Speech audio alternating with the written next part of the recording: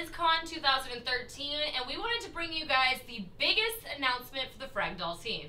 That's right, we just hired a new frag doll. It's me!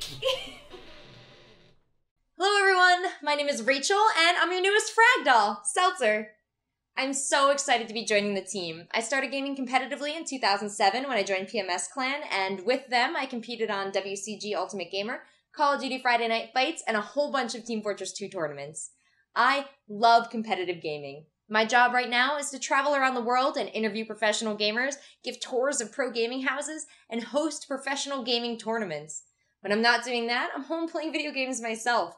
I love MOBA, RTS, FPS, anything I can kick somebody else's butt in. So I'm really looking forward to playing with you guys on the Fragdoll stream. And I'm so excited and feeling so lucky to be asked to join the Fragdoll team. This has been a dream since since I joined PMS Clan way back in the day and we looked up to the Frag Dolls as big sisters. Now I get to be a big sister and I hope I can do my part in influencing you guys and mentoring you and bringing women into this industry just like they've done for me. So thank you so much, Frag Dolls, and thank you guys. I hope I can make you proud.